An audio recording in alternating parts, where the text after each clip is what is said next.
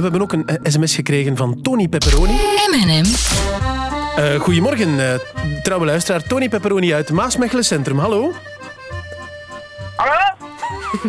Ja, hallo Tony. Ja. Hey, eh, ah, ja, hallo. Mag ik even met Peter van der Veijden spreken, alsjeblieft? Ja, daar spreek je mee. Tony, goedemorgen.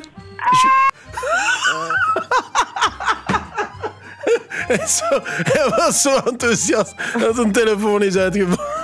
Oh. Toch even terugbellen naar die mensen. Hallo? Tony, je, je was omvergevallen. Ja, ik ben terug. Peter, Eh. Peter en Julie hier. Ja. Nee, ja, ik, ik ben met mijn oude telefoon. eh komt daardoor. Ja, Ik weet niet. Ja, ik wou even reageren op iets, eh, Peter, van de en Julie. Ook goedemorgen allemaal. Ja? Ehm, kijk, ik heb gelezen dat eh Dana Winder die botox gebruikt. Ja? En eh, veel mensen waren gechoqueerd, maar Tony wil even uitleggen waarom zij een beetje vals speelt over die uiterlijk. Ja? Kijk, het is eh, simpel. Want eigenlijk is Dana Winner al heel erg oud. Ja? Eh, zij zegt dat zij 50 jaar oud is, maar zij is veel ouder, heb ik gehoord. Ja? Ik heb gehoord dat zij nog bij onze lieve Heer Jezus in de klas heeft gezeten. Oké, ja. Daarom, heeft zij ook een gesigneerde Bijbel trouwens. Maar eh, ook als zij naar de toilet gaat, dan komt alleen maar stof uit. Toen zij een kind was...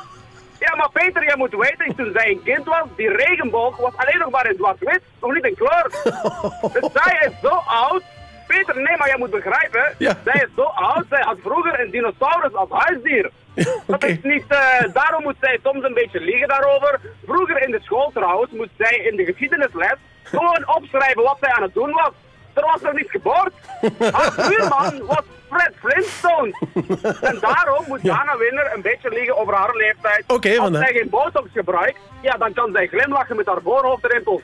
Dat is gewoon zo. Maar daarom eh, heb ik dus deze week bij Pizza Tony Pepperoni in Maastricht Centrum die pizza Dana Winner. En dat is eigenlijk gewoon een pizza die vervallen is.